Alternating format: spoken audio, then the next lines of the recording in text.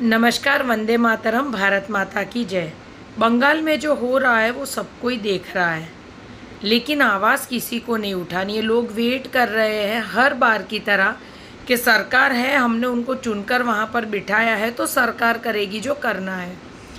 इस देश का सबसे बड़ा दुर्भाग्य पता है क्या है? कि एक हिंदू ना अपने हक के लिए कहीं भी लड़ नहीं पाया। इसीलिए ना टुकड़ों में बटता जा रहा है। कश्मीरी हिंदू भी शायद इसी वजह से वहाँ से पलायन करना पड़ा उनको भी। और अभी जो बंगाल में जो हालात हो रहे हैं, वो भी हम लोग देख रहे हैं। बांग्लादेश में भी हम लोग देख रहे हैं कि क्या हो रहा है। मतलब एक स्त्री जो गलत तरीके से किसी भी संविधानिक कायदे को नहीं मानकर हर चीज़ गलत कर रही है और सरकार उसको रोकने में बाकायदा नाकाम रह रही है क्योंकि जनता कभी भी ना इतनी सक्षम नहीं है कि वो अपना हक मांग सके और नहीं मिलने पर छीन सके। बंगाल में आज जो हुआ है डॉक्टर बिटिया के साथ, वो कहीं भी हो सकता है।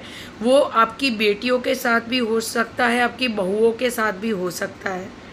अगर इतनी सारी चीज़ें हो रही और हम फिर भी ये सोच रहे कि हाँ यार, सब ठीक हो जाएगा तो अभी भी हम लोग मूर्खता की कगार पर खड़े हैं। अगर ठीक होना होता ना तो मैं बहुत सी बार बोल चुकी हूँ कि इस देश में सबसे बड़ा दुर्भाग्य हमारा ये है कि इस देश की न्याय व्यवस्था और कानून व्यवस्था दोनों ही लूली, लंगड़ी, अंधी और बहरी है। सालों लग जाते हैं जैसे निर्भया की माँ ने आठ साल तक चप्पल घिसे तब जाकर उन हरामजादों को सज़ा मिली। बहुत सारे केस में इन लोगों को फांसी नहीं दी जाती है, क्योंकि हम जैसे आप जैसे लोग मिडिल क्लास लोग, क्योंकि अमीर तो ना पचास करोड़, सौ करोड़ के तोहफे देकर अपने टैक्स बचा लेते हैं। आपके और मेरे जैसे मिडिल क्लास लोग जो टैक्स भरते हैं, उन हरामजादों की रोटियाँ हम लोग जैसे लोगों के पैसों से निकालती है सरकार। फिर भी हम लोग चुप है। हम डरते हैं कि अगर 31 जुलाई चली गई 31 अक्टूबर चली गई और हमने टैक्स नहीं भरा तो हमें इस देश से निकाल देंगे। लेकिन हमारा टैक्स भरने का शायद रीज़न यही है कि इन हरामजादों की रोटियाँ जो भिकमंगे बाहर रहे, अंदर रहे, ना इनकी माओ को कोई पड़ी है। क्योंकि इन लोगों ने ये सुअर को पैदा ही इस वजह से किए होते हैं कि या तो तू घर में मुफ़्त की हराम की रोटियाँ खा या जेल में खा। और हमारी न्याय व्यवस्था के चलते कभी भी मुझे नहीं लगता है कि इतना जल्दी कभी भी न्याय आएगा कि केस आज हुआ। मतलब मुझे हँसी तो तब आती है जब कोर्ट ऐसी मजाके करता है कि फास्ट ट्रैक कोर्ट में चला जाएगा इनका केस। किस चीज़ का फास्ट ट्रैक कितने ऐसे केस है जिनमें आपने बाकायदा छः महीनों में उसका निकाल ला दिया है? एक निकाल के दिखाओ। कभी नहीं तो किस चीज़ का फास्ट ट्रैक चल रहा है? फास्ट का मतलब तो पहले समझो। इस लूली लंगड़ी न्याय व्यवस्था से किसी भी चीज़ की उम्मीद करना मुझे तो बाकायदा एक मज़ाक लगता है। मतलब जिनके पास टाइम है, दही हांडी की हाइट तय करने का, गरबा कितने बजे तक चलेगा, वो तय करने का। लेकिन अगर किसी रेपिस्ट को पकड़ा जाए तो उसके लिए इतनी हद तक सबूतें मांगते हैं कि जिनकी बेटी पर ये गुजरता है ना, वो लोग उम्मीद तक छोड़ देते हैं कि इस घटिया न्याय व्यवस्था से हमें कोई न्याय भी मिलेगा। मतलब आप सोचो, उस बाप की आप मनोस्थिति सोचो कि आज हम जिस समाज से बिलोंग करते हैं, वहाँ लड़कियाँ अपने माँ बाप के सामने कुछ एक कपड़े तक पहनने से मतलब कि परहेज करती है कि नहीं, वो मर्यादा है हमें वो अनुशासन है, वो परंपराएँ हम लोग निभाते हैं। मतलब आप उस बा, बाप की मनोस्थिति सोचो, जब उसके सामने उसकी बेटी को बकायदा उसके शरीर पर एक भी कपड़ा नहीं पड़ा हुआ था और वो जब उनको लेने पहुँचे होंगे।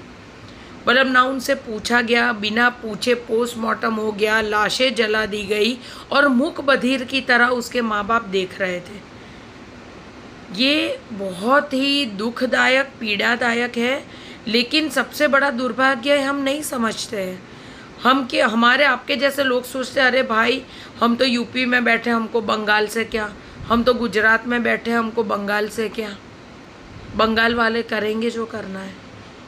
देख लो एक नुपुर शर्मा के स्टेटमेंट पर ना सत्तावन मुस्लिम देश एक हो गए थे। हिंदुओं का सिर्फ़ एक ही देश है हाँ, मैं ये बोल देती हूँ। फिर भी हम लोग इस देश में भी जातियों में इतनी गंदे तरीके से फंसे पड़े हैं मैं ब्राह्मण तू ये वो ये मतलब उस चीज़ में से हम ऊँचे आ ही नहीं रहे हमने कभी ये नहीं सोचा कि एक दलित की बेटी भी हमारी बेटी है एक ब्राह्मण की बेटी हमारी बेटी है। और इसी चीज़ का लाभ ना ये सुअर उठाते हैं। आप जितना बटोगे ना, उतना कटोगे ये बात सत्य है जो योगी जी ने कही है। अभी भी वक्त रहते सुधर जाओ। हिंदू हो, ये बोलना चालू करो, मुझे ऐसा लगता है वो ज़्यादा ज़रूरी है। और अपने बच्चों में ना, ये सो कॉल्ड जो मॉडर्न मेंटालिटी जो उनके दिमाग में पल रही है कि हम कहीं भी जाए, किसी की रोक टोक हम नहीं सहेंगे, ये प्लीज़ ये नौटंकियाँ बंद करवा दो। क्योंकि निर्भया कांड के वक्त शीला दीक्षित, जो दिल्ली की सीएम थी ना, उनका ये स्टेटमेंट था कि सबसे पहले तो ये बताओ, ये लड़की 12 बजे तक कर क्या रही थी? ये सबसे बड़ा क्वेश्चन मार्क था उन माँ बाप पर जो अपनी बेटियों को बोलते हैं हाँ तुम जो भी करो, चलेगा। मैं ये नहीं बोलती कि आपकी बेटियाँ गलत है या उनको जीने का अधिकार नहीं है, लेकिन आप लोगों को परिस्थिति समझ में आनी चाहिए कि किस जगह पर क्या हो सकता है। फ्रीडम दीजिए, उसकी मनाही नहीं है। और मुझे तो आज तक ये समझ में ही नहीं आया कि लोग कपड़े छोटे पहनने को मॉडर्न कैसे मानते हैं। बेटियों को ना यहाँ से मॉडर्न करो। उनकी सोच इतनी सक्षम बनाओ कि सामने वाला इंसान ना हाथ लगाने से पहले सौ बार सोचे। ये रील में नंगे नाच करने से कुछ नहीं होगा। अपनी बेटियों को ना कराटे सिखाओ, तलवार चलाना सिखाओ। ठीक है ना? इतनी सक्षम बनाओ कि किसी को भी ना दो थप्पड़ लगा सके। ना कि उससे डर कर भागे और दूसरे दिन बोले कि नहीं, मुझे कॉलेज नहीं जाना है, क्योंकि रास्ते में वो लोग मुझे परेशान करते हैं। और माँ बाप भी ये सोचते हैं, अरे भाई, छोड़ो यार, हम किस भसड़ में पड़ेंगे? सोचते हो ना? जब आपकी बेटी आपको बोलती है कि चौराहे पर गुंडे खड़े रहकर छेड़ते हैं, आप क्या करते हो? आप सोचते हो, अरे यार, छोड़ दो, उस रास्ते से ही जाना, छोड़ दो। या तो सक्षम बनो, या मरने के लिए तैयार रहो। बाकी इस न्याय व्यवस्था से अगर आप उम्मीद करते हो कि छः महीने में किसी भी केस का निकाल हो जाएगा तो मेरे को तो बहुत हँसी आती है, आप भी हंस सकते हो वैसे। ये बहुत बड़ा संदेश था, अगर आपको समझ में ना आया हो तो ये वीडियो दोबारा ज़रूर देखना। नमस्कार।